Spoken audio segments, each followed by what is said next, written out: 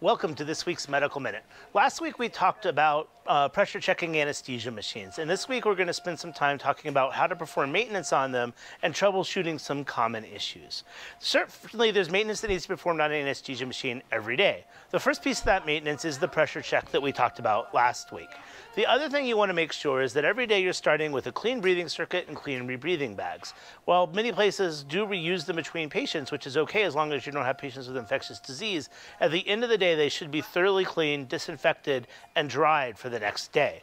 So make sure that you're starting with a clean anesthesia machine before you even do perform uh, anesthesia on your first patient. The other thing that you want to do is you just want to visually check your inhalation and exhalation valves and make sure that they are seated properly and closed. The inhalation and exhalation valves, when you open them up, they have just a little plastic disc is all that's in there. And this little plastic disc is made to include the flow on either the ex inhalation circuit or the exhalation circuit. But at times, these can get caught out and caught out by either condensation or pieces of lime that work themselves up into the system. So you want to make sure that these are functioning properly or else your anesthesia machine is not going to function properly and your patient can actually end up rebreathing carbon dioxide. You want to make sure that those are both both um, open and working. You can see that this one has a lot of condensation in it, and sometimes that condensation will cause the valve to stick. So you want to make sure that it's dry, clean and dry uh, before you begin um, working on an individual patient, because patients with a lot of respiratory re um, moisture will tend to uh, cause condensation in the exhalation valve. The final thing you want to do is you want to check your Baralyme. Generally, your Baralyme is going to need to be changed every 8 to 10 hours of use. Uh, on this particular machine, they have a piece of tape where they tell you the last time that they changed it, um, along with the date and the initials, so we know how long it's been.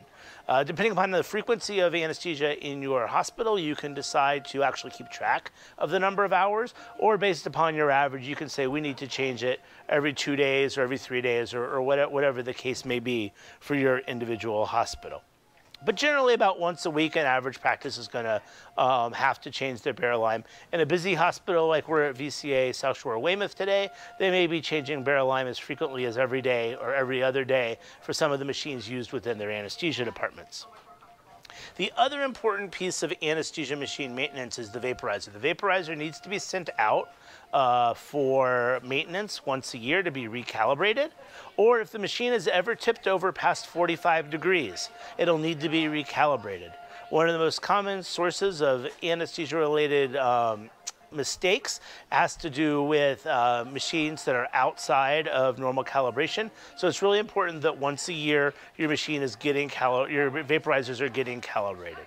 And that's all there is to it. As long as the machine's pressure testing properly and you're performing the simple daily and weekly and then yearly maintenance, your anesthesia machine should um, function properly and last a very long time.